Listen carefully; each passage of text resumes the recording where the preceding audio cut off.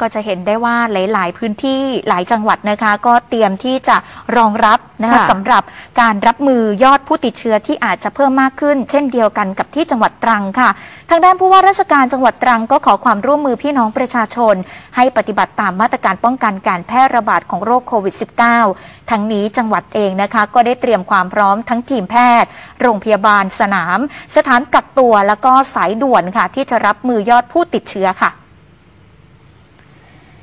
นายแพทย์ตุลการมักคุ้นนายแพทย์ชำนาญการพิเศษของโรงพยาบาลตรัง ในฐานะโฆษกศูนย์บริหารสถานการณ์การแพร่ระบาดของโรคติดเชื้อไวรัสโคโรน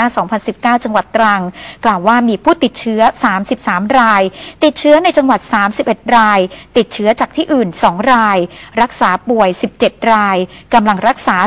241 ราย ผู้ป่วยสะสม 18,231 ราย หายป่วยสะสม 17,874 ราย เสียชีวิตสะสม 116 รายนะคะ สาเหตุของการติดเชื้อเนี่ยแยกเป็นสัมผัสร่วมบ้าน 27.27%ค่ะ ติดเชื้อในชุมชน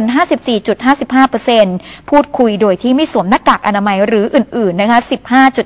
15.15%ส่วนผู้ป่วยที่ติดเชื้อโควิด -19 สายพันธุ์โอมิคอน ในวันนี้เนี่ยต้องรอผลตรวจไปก่อนนะคะ โดยเฉพาะประชาชนที่เดินทางมาจากจังหวัดภูเก็ต และจังหวัดนครศรีธรรมราชค่ะ ทั้งนี้ทางด้านนายขจรศักดิ์เจริญโสภาผู้ว่าราชการจังหวัดตรังค่ะ ได้ขอความร่วมมือจากพี่น้องประชาชนค่ะ ให้ปฏิบัติตามมาตรการของกระทรวงสาธารณสุข และควรที่จะงดค่ะ ไปร่วมกับพื้นที่อื่น ๆ เพื่อเป็นการรวมกลุ่มกันเป็นจำนวนมากเป็นระยะเวลา 14 วัน เนื่องจากว่าช่วงเทศกาลปีใหม่ค่ะ มีพี่น้องประชาชน แล้วก็มีนักท่องเที่ยวเดินทางกลับมาที่บ้านมาท่องเที่ยวกันเป็นจำนวนมาก อาจจะทำให้เกิดการระบาดได้หากพี่น้องประชาชนงดออกจากบ้านเป็นระยะเวลา 14 วัน ก็จะทำให้ปลอดภัยจากโควิด -19 แล้วก็งดในเรื่องของกิจกรรมต่างๆ ที่จะเป็นการรวมตัวกันของพี่น้องประชาชนด้วย นอกจากนี้เองค่ะทางจังหวัดตรังได้มีการเตรียมพื้นที่ หากว่ามีการแพร่ระบาดของเชื้อไวรัสโควิด -19 สายพันธุ์โอมิครอนค่ะ โดยทางจังหวัดเองนะคะเขาก็จะมี Community Isolation หรือว่าศูนย์ CI นะคะมีทั้งหมด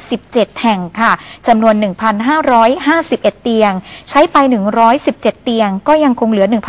1,434 เตียงค่ะ ส่วนสถานที่กักตัวเนี่ยมีอยู่ประมาณ 40 ห้อง นอกจากนี้ก็ยังเปิดสายด่วนหมายเลข 075-290-650 ต่อ 2 นะคะ ประชาชนสามารถติดต่อได้ในวันและเวลาราชการค่ะ